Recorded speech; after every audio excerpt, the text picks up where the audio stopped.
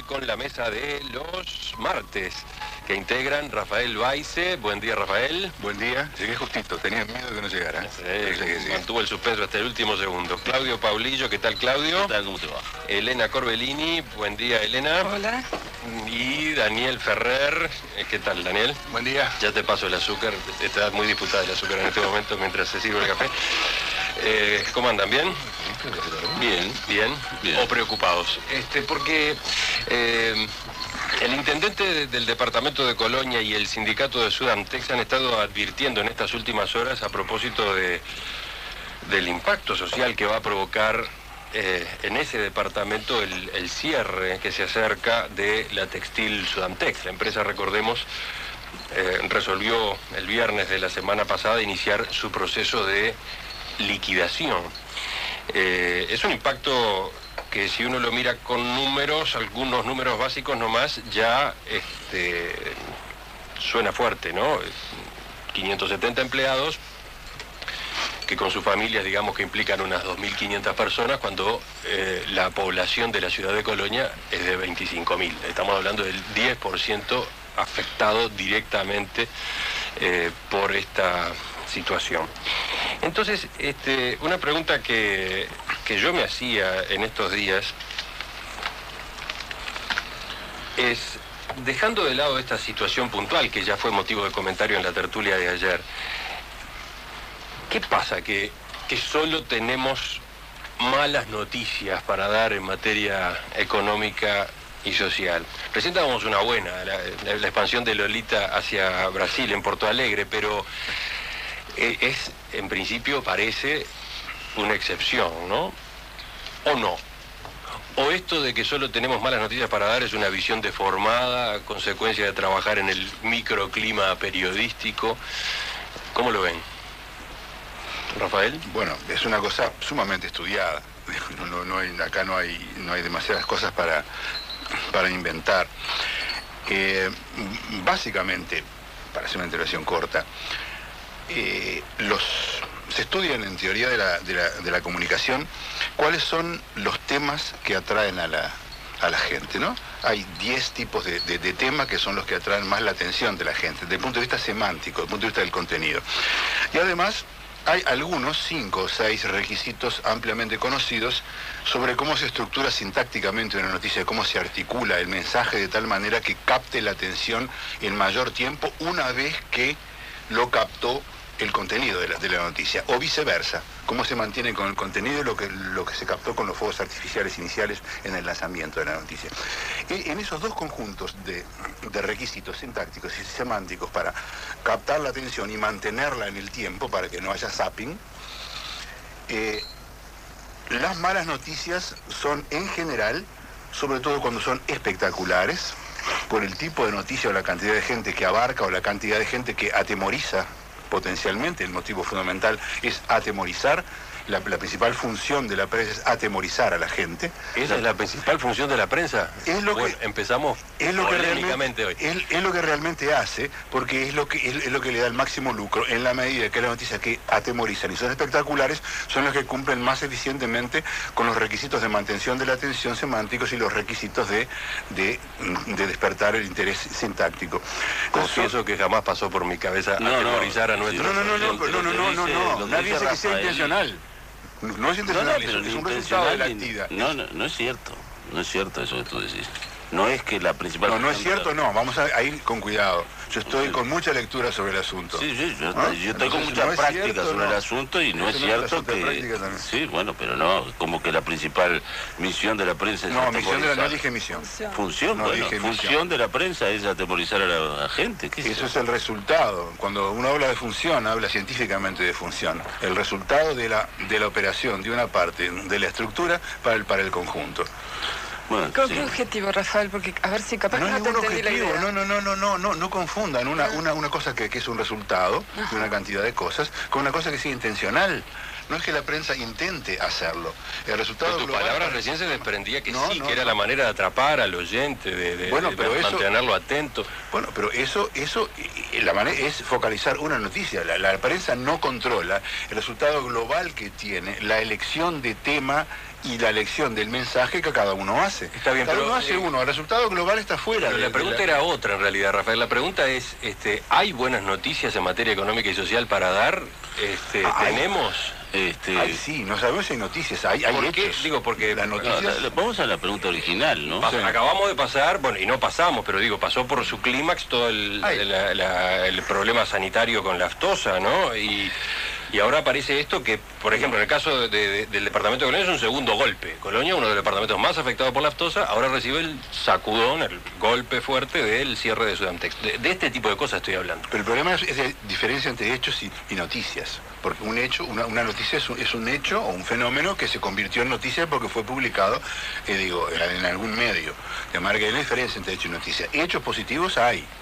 Ahora, noticias positivas hay relativamente menos con respecto a las buenas que las que hay en la vida, digamos, real, aunque quizás se vuelve más real la... la Pero yo estoy, la, pregunta la apuntaba, la pregunta apuntaba justamente a la realidad, a qué es lo que está pasando en nuestro país. Este, por decirlo de otra manera, porque no sé si se entendió entonces cuál era la pregunta. Este, ¿hay una luz? ¿Se está viendo una luz al final del- de este camino largo, oscuro que estamos transitando de la recesión? Pero ya no son hechos, es una, una especulación sobre el futuro.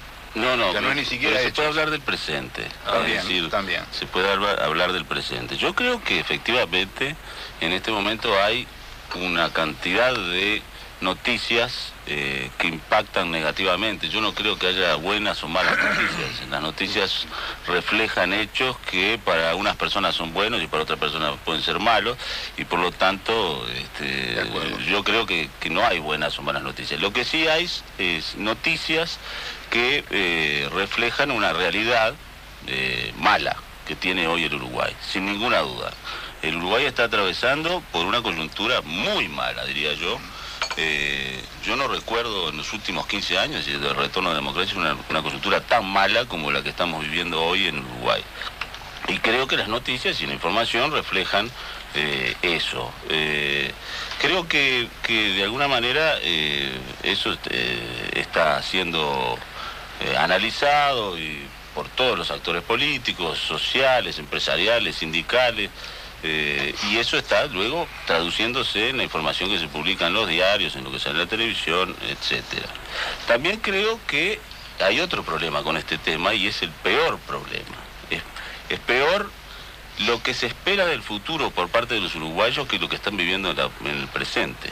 Eso es peor que lo que están viviendo en el presente, porque yo creo que lo que pasa es que uno mira para adelante y no ve nada, o ve poca cosa, o ve una chance mínima de que esto se revierta. Sin y duda. por eso es que ah, se va la gente joven hacia otros países. Ahora, déjame Es- reflexionar. Es decir, que yo, déjame terminar. Sí. Creo que eso es peor que, que alguien esté pasando por un mal momento, porque uno puede estar pasando por un mal momento y decir, bueno, voy a, voy a trabajar, voy a romperme todo, voy a y salgo adelante. Pero uno piensa, bueno, trabajo, me rompo todo, pero tampoco salgo adelante porque porque no veo nada por delante. Es decir, yo creo que eso es peor que la realidad mala que se vive. Pero analicemos un poquito este, esta noticia de Sudamtex, no, no de Sudamtex misma porque digo, no sé nada en particular de Sudamtex, pero yo creo que esta, esta, este tratamiento del tema de Sudamtex muestra en gran medida mucho de lo que anda mal en nuestro país. En primer lugar, ¿a alguien le preocuparía el cierre de Sudamtex si nosotros en vez de una desocupación del 14,5% tuviéramos una desocupación del 2,5%? La respuesta es claramente no. En realidad el problema no es que cierre Sudamtex, el problema es el 14% de desocupación. Es decir, el problema es que la gente que, se, que, que- que- que, digamos, que pierde su empleo en Sudamtex no lo encuentre en otro lado. Ese no es un problema de una empresa, es un problema de la economía en su conjunto. Ahora, nosotros en qué prestamos, ¿a qué le prestamos atención? ¿Cierra Sudamtex? Uy, qué horror, tenemos 14,5% de desocupación y no hay trabajo. No, cierra Sudamtex. Entonces, dedicamos toda nuestra atención a que Sudamtex no cierre, es decir, a negar, a negar los hechos. ¿Mm? Entonces, hacemos un esfuerzo fenomenal o para que Sudamtex no cierre o para extenderle el seguro de paro a los trabajadores de Sudamtex. Entonces, hay una ley que dice que el seguro de paro dura seis meses, pero no. Si usted tiene, si la empresa tiene suficiente poder o suficiente prensa, no, no dura seis meses, dura un año, un año y medio, dos años. Ahora, en un país en que no sobran los recursos, todos los recursos que se saquen para defender a Sudamtex o para tratar de evitar la quiebra de Sudamtex o para mantener a Sudamtex, Se le salen de algún lado. Entonces, los chicos del INAME van a tener 250 mil dólares por mes menos porque se los vamos a pagar en extensión del seguro de paro a los trabajadores de Sudamtex. Y 250 mil dólares por mes menos son 6 millones de dólares por año, que no es poca plata y no es mala plata. Y si nos ponemos a mirar todas las extensiones de seguro de paro, más o menos del mismo tipo que hay, que han habido en los últimos años, y hay todos los años por empresas que se tratan de mantener vivas a forceps, a prepo, estamos sacando cantidad de recursos que deberíamos usar para otro lado. Pero no solamente es un tema de sacamos un poco de plata por un lado y lo ponemos en otro lado, que además sacamos la atención de los problemas de verdad. Es decir, Uruguay tiene una estrategia que es una estrategia futbolísticamente diseñada a no perder. Es decir, lo que nosotros queremos es mantener el partido tal como estaba en el año 55 y que no perder. Entonces queremos que no cierre Suamtex, que no cierre la onda, que no cierre Cristalería del Uruguay, que no cierre, que no cierre nada, que seguir con la economía ganadera eh, tradicional. Es decir, lo que queremos es que el Uruguay viejo que nos encantaba no cambie y ponemos todos nuestros esfuerzos para no cambiar. Por supuesto, como nosotros no podemos impedir la evolución, este, lo que hacemos es, cada vez que algo se nos cae, nos quejamos y tratamos de impedir su, su, su- su derrota. Ahora, en la economía, que haya quien gane y quien pierde es, una- es un elemento de cajón, es un elemento natural. Nosotros nos dedicamos exclusivamente a perder. Eso sí, no vaya a ganar, no vayamos a esforzarnos porque alguien gane, porque eso está mal. Entonces, realmente, eh, digamos, es cierto que hay un problema de tratamiento periodístico en la noticia, pero el tratamiento periodístico, y ahí discrepo un poquito con Rafael, no es que los periodistas sean, eh, este, sean malignos por naturaleza, No es que simplemente... este, no, exactamente no me. Rafael, déjame, terminar, contrario. déjame terminar la frase. No, es mientras me diga la hago- lo que yo digo, bárbaro, Rafael, lo que propiedad mía. No es que los periodistas Ah, bueno. sean malignos por naturaleza, es que simplemente transmiten lo que el mercado escucha o lo que la plaza escucha o el pensamiento colectivo de la gente. Y el pensamiento colectivo de la gente está focalizado en que Sudamtex no cierre, en lugar de revertir la desocupación del 14%. Y, re- y realmente son objetivos contradictorios, porque mientras nos sigamos preocupando de que Sudamtex no cierre, no vamos a revertir la desocupación. La pregunta podría ser si el país, o mejor dicho, sus autoridades, la sociedad, está trabajando para solucionar los problemas de fondo o está consumida en apagar los incendios, ¿no? Creo haber sobre dicho eso que sí. está Creo haber dicho- consumida en apagar los incendios. Estoy Pero totalmente de acuerdo ahí con quiero, quiero, me toca a mí. No, eh, yo estoy de acuerdo con lo que está diciendo Ferrer, ¿no? Hay una, hay una cosa de mirar para atrás todo el tiempo. Conversaba con Ricardo Aranda, que es eh, periodista allá en Colonia, me contaba lo que discutió la Junta Departamental de Colonia el viernes sobre esta catástrofe que es el cierre de Sudantex. Y todos los aportes, las visiones en el debate es, bueno, ¿por qué ocurrió? Y bueno, desde acusar a, que, bueno, que los sindicalistas a tiempo no vieron el problema, mm, o que el Estado no aportó soluciones a tiempo, y un poco también de no, esto hace, hace rato que se está viendo, no quererlo ver hasta el final, ¿no? hasta el último momento, y, y todo el tiempo albergar ilusiones de algo que era evidente que no, no, no podía verlas. Entonces esa mirada hacia atrás, lo que no se hizo, quién tiene la culpa, quién debería salvar esta situación, yo creo que no va a ningún lado, estoy de acuerdo. Lo único que debería salvarlo es. Sudamtex. Y si Sudamtex no la salva, es problema de Sudamtex.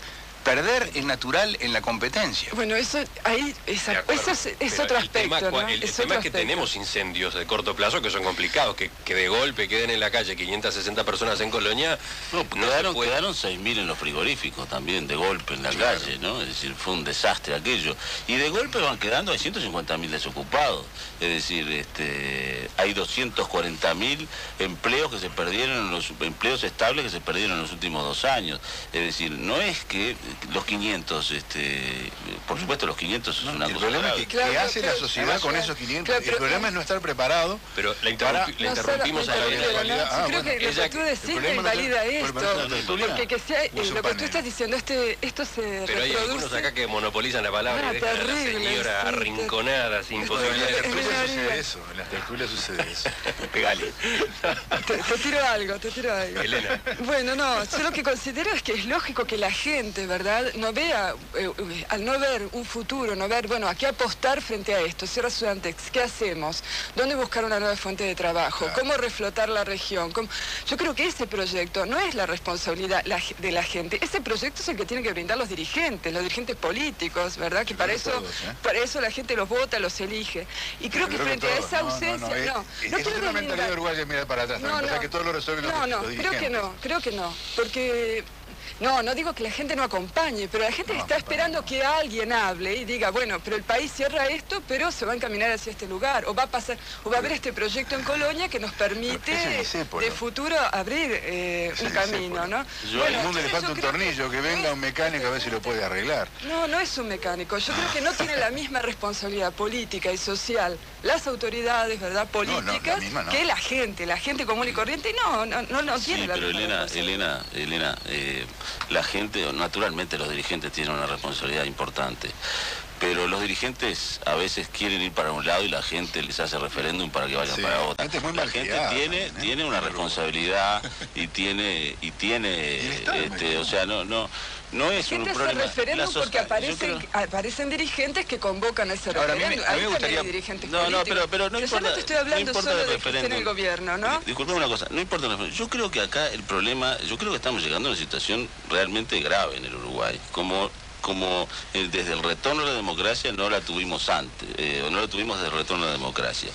Yo creo que estamos llegando al punto en el cual eh, habría que tomar en serio lo que dijo el presidente de la República en ese seminario que organizó el general Sereñi, cuando dijo que él reformaría totalmente el, capítulo de la Constitución referido a las empresas públicas y este, pondría un gerente a dirigirlas y sacaría a los directores políticos, porque, como dijo él, hay algunos que saben algo y otros que no saben nada. me parece que el gesto que tuvo el directorio de OCE, los miembros del directorio de OCE que pusieron a su disposición los cargos porque se sintieron ofendidos, pero yo creo que voy a tomarlo, el gesto. Es decir, que el presidente tendría que tomar el gesto y decir, un momento le tomo la renuncia, váyanse, porque ustedes son directores políticos, no saben de saneamiento y de agua, entonces váyanse, vamos a poner un gerente. Y ese podría ser el inicio de un camino de reforma de las empresas públicas que hiciera que no pagáramos, como dijo Ernesto Talvi en ese mismo seminario, todos los uruguayos, las empresas uruguayas y los ciudadanos uruguayos, 800 millones de dólares por año de sobreprecio por los servicios públicos que recibimos. 800, ¿ustedes se dan cuenta de lo que son 800 millones de dólares de sobreprecio que pagamos todos los años por, el agua, perdón, por los teléfonos, los combustibles y la energía eléctrica que recibimos, ¿se dan cuenta de lo que es volcar de nuevo al mercado eso? Déjame proponer una reflexión sobre esto y, es la siguiente. Nosotros, yo en realidad me atrevo a, plantear sobre la mesa la posibilidad de que nuestra respuesta a las crisis, es decir, nuestra respuesta a las derrotas, es un obstáculo para el desarrollo de la sociedad. ¿Y por qué lo digo? Porque en realidad cada vez que nosotros nos ponemos, la sociedad entera se abroquela para evitar la caída de algo del pasado, en realidad lo que está haciendo es impidiendo el surgimiento del futuro. Si cuando nosotros tratamos que algo, que la onda no se, no, no, se funda, lo que logramos conseguir no es que la onda no se funda, porque la onda se funda igual, pero lo que logramos conseguir es postergar 10 años la posibilidad de que aparezca otro que tome el lugar de. Si, cuando, si nosotros ahora nos ponemos todos atrás de Sudamtex y nos pasamos 10 años luchando para que Sudamtex no, no se funda, lo que vamos a conseguir es que haya 10 eh, como la gente de Lolita, que tomen su lugar. Es decir, cada vez que nosotros tratamos de impedir que el pasado se termine, lo que hacemos es impedir que el futuro empiece. Es un país y tanguero. es una conducta típica de los uruguayos. Es un país tanguero, es, un país, tanguero. Está pensando para atrás, con nostalgia. La semana pasada tuvimos una, buena noticia en este sentido con, atrás, con el seminario sobre servicios públicos, ¿no? ¿Cómo, cómo? Una buena noticia. Y ahí hubo una buena noticia, porque quiero decir, se constataron eh, posibilidades de acuerdo, aproximaciones de posiciones que quizás no esperábamos. Este, ese no es, claro, pero fíjate, no es un dato frecuente. No, no es un dato frecuente. Había un programa en esta radio, una radio vecina, yo no me acuerdo hace muchos años, que se llamaba Buenas Noticias lo puedo decir porque ya no existe más y fue otra tragedia la desaparición de la empresa, como si fuera Sudantex, que se llamaba Buenas Noticias Rausa, en que se, se, emitía del aire nada más que buenas noticias que arrimaban servicios informativos y gente común que, que arrimaba noticias. Yo no sé si no sería una buena estrategia o si realmente nadie oiría eso y preferiría enterarse de choques, asesinatos, este, degollados, evacuados y, gente con miedo a... A mí me parece que es hora que los dirigentes hagan propuestas de soluciones, no solo que digan, bueno, nos, este, nos solidarizamos con esto, nos enteramos, a ver qué pasa, ¿no? ¿Cuál es la propuesta? A, mí el motivo de la entrevista de hoy al ministro Bención, a mí me molesta realmente, que no diga, bueno, si está enterado, está enterado, bueno, ¿y qué pasa? Pero ¿por qué las soluciones tienen que venir de los, de los Porque gobiernos? son nuestros gobiernos, son nuestros gobiernos. Los gobiernos, en materia, en materia económica, lo mejor que pueden hacer los gobiernos es salir del medio. Eso es disépolo, eso es disépolo, no, no, están muy mal, muy mal criados los, gobiernos de los estados de, bienestar. Lo dijo Spencer antes de que Los gobiernos no, las sociedades. Sociedades. Las sociedades, Sí, sin perdón, perdón, las, las sociedades. Lo dijo Spencer antes de que apareciera el estado de bienestar. Dijo, miren, en, en Inglaterra cuando empezó el primer estado de, de bienestar, dijo, tengan cuidado con hacer cosas de estas, porque si ustedes hacen estados de estos que cuidan de la gente así, pueden pasar A, B, C, C, todas esas cosas pasaron. ¿Mm? Fue en 1891. Este, Para Emiliano, no fue una buena noticia lo, No, no, lo que no. salió del seminario. Yo quería justamente decir, eso. yo creo que, que sí, que es una buena noticia que se pongan de acuerdo sobre lo obvio. Ahora, pero, Sí, sí, yo pero, creo lo mismo, creo que las pero- noticias fueron... pero, pero lo que, El- lo que mí el consenso de por sí no es Lo que virtuoso. resalto, no, no, no, No, pero yo lo- creo que es virtuoso en la medida que en Uruguay se ha elegido el camino de realizar cambios si tienen pero un Emiliano, consenso detrás. Emiliano, este, eh, Porque sí, los cambios, creo- los cambios por mayoría después El resultan hecho que- mismo, el que hecho se queda Las por cosas que se consensuaron son tan vagas y tan... El hecho mismo de que, de que hay- estemos destacando que se pusieron de acuerdo sobre lo obvio, demuestra el atraso en el que estamos. Es decir, eh, si, si estamos resaltando que, que bien, este, los tipos que saben del asunto eh, dijeron 2 más 2 son 4, está fenómeno. Es decir, realmente hay que felicitarlos por eso. en, el que Uruguay de hoy hay que felicitarlos por eso, pero francamente, decir, que Tabaré Vázquez haya reconocido que hay corporativismo sindical en las empresas públicas que este, busca defender los privilegios de los funcionarios, bueno, ya lo sabemos desde hace años, pero es una buena noticia que finalmente se haya dicho. Que el presidente de la República haya dicho que los directores de las empresas públicas son intendentes fracasados, diputados fracasados, eh, también es una buena noticia que lo haya dicho, pero todos sabemos hace años que es así. Por lo tanto, eh, ponerse de acuerdo sobre lo obvio me parece una buena cosa en el De hoy, pero también demuestra el atraso que tiene la discusión, porque estas cosas este, tienen que estar este, terminadas de discutir hace rato. Es decir, yo creo que hay que tomarle la renuncia a los directores de, de OCE y así tendrían que eh, pasar todos los directorios de las empresas Sí, pero- públicas este, renunciando todos allí para, para, que, pero- para Ahora, yo facilitar. no estoy seguro, yo no estoy seguro que la buena noticia deba consistir en palabras, es decir, las buenas noticias deberían ser hechos. Entonces, Bueno, claro, pero si- claro, pero antes, los- antes bueno, de los hechos antes eran de los hechos hay necesarias las Pero sería muy bueno que, que- que, digamos, que, se continuara. hiciéramos un blackout de noticias, que no dijéramos las noticias en que la gente dice cosas. Entonces nos ocupáramos de ellas solamente cuando la gente hace cosas. Es una propuesta interesante. este, de decir estamos, digo, Sí, sí, hablar estamos eh, hartos, el aire caliente gratis. No, no, a mí la- lo que me gustaría es ver, Sí, sí. es ver resultados. La lista ver de desocupados crece, la lista de migrantes crece, y mientras hablamos y hablamos. pero- tiene que estar fundamentada. Digo, antes que haya una conducta tiene que haber una Sí, fundamentación. pero nosotros nos pasamos fundamentando y nos pateamos al arco. Bueno, pero es otra cosa. Tiene que haber las dos cosas. Es porque muy si no, la gente no sabe. de hablar y no ejecutar. Para mí, se complicó. Bueno, introdujimos. Puede ser otra- que sea. Una ola de frío ha corrido por la tertulia. No, es que yo creo que son las, son- son las dos cosas. Porque también la gente tiene que tener una fundamentación de lo que hay. Bueno, pero a ver, para terminar, porque el tema da para mucho más, pero para cerrarlo, para cerrarlo por hoy, Sí. brevemente, brevemente. ¿qué- Hablamos de cosas bien distintas al interior del mismo tema. Sí, sí, que- sí, sí. Y ahora hago una pregunta para terminar. ¿Ustedes qué ven en el horizonte? ¿Salimos o no salimos? ¿Estamos yendo hacia la, hacia la salida del túnel o no? Ah, no, ahora vamos hacia No, ahora no vamos precipicio, así, de No, no, de ahora no. Con los No, ojos abiertos de cabeza. Quien puede razonar, se están haciendo cosas, se han tomado medidas, se están empezando a producir resultados, todavía no se ven. Eh, eh, Este, es- este es el año, este es el año en que todos estamos de acuerdo que deberían producirse hechos. Estamos todos conteniendo la respiración para que los hechos se produzcan. Nos estamos poniendo levemente azules, pero estamos conteniendo la respiración esperando los hechos. Eh, todavía quedan, eh, ¿cuántos meses quedan del año? Ocho. Más temprano, en el análisis de, Menos, no, no. de la gente de TEA Deloitte y Touche, eh, Pablo Rosselli señalaba que según las estimaciones que ellos tienen, este año la economía no crecerá si comparamos con el año 2000. Pero no Así importa- que no probablemente importa que el no crezca si pasan- si se de hacen cosas. Claro, pero pu- pu- pueden pasar cosas positivas aunque no crezca inmediatamente. Y en ese sentido, ¿qué, qué impresión tienen? Y la impresión, eh, mi impresión personal es que no hay ningún cambio este, de, de fondo, que es lo que hay que tomar ahora, medidas de fondo para revertir esta situación. Lo que hay es lo de siempre. Aumentamos los impuestos, refinanciamos la deuda, nos seguimos endeudando, nada de fondo, todo lo mismo de siempre. Un poco más de IVA. Pero con consenso, eso sí. Ah, sí, sí, estamos todos de acuerdo. estamos todos de acuerdo que y vamos camin derechito ahí al, al precipicio para reventarnos de cabeza dentro de algunos años. Es decir, yo creo que eh, es realmente, no, eh, tal vez eh, suene un poco Sí, lo creo, yo digo. violento esto que estoy diciendo, pero realmente, es decir, yo creo que esto o se cambia este, en forma importante, radical, este, particularmente, el costo del Estado se cambia radicalmente este, en los próximos tiempos, breves tiempos, o los costos sociales de Sudantex y de muchas otras empresas y ciudadanos este, de la actividad privada se van a sentir mucho más que si se adoptaran medidas que... Hay quien dice que Uruguay no hace cambios porque no tuvo crisis verdaderas, ¿no? Pero, sí. ¿Eh?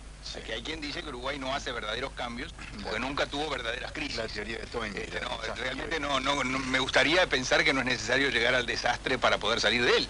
Pero la realidad es que este es el año, en, digamos, este es el año en que todo el mundo anuncia que deben producirse cambios radicales y sustanciales. El presidente en su en, el mes de, febrero creo que fue, hizo una apuesta de decir vamos a hacer los cambios con consenso. Y el presidente sin duda tiene gran capacidad de, maniobra. Ahora bien, este, nos estamos poniendo un poco azules de tanto contener la respiración, pero bueno, eh, la realidad es que el presidente ha demostrado ser capaz de sacar cosas de la manga más de una vez. Eh, sigamos Pero no es un problema del presidente, es la sociedad que tiene que asumir.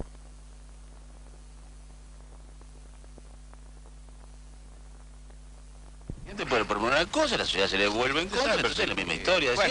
somos todos yo, creo que el Uruguay es uno de los tantos países independientes que son, Yo creo que el Uruguay es uno de los tantos países independientes que son inviables en este momento, ¿no?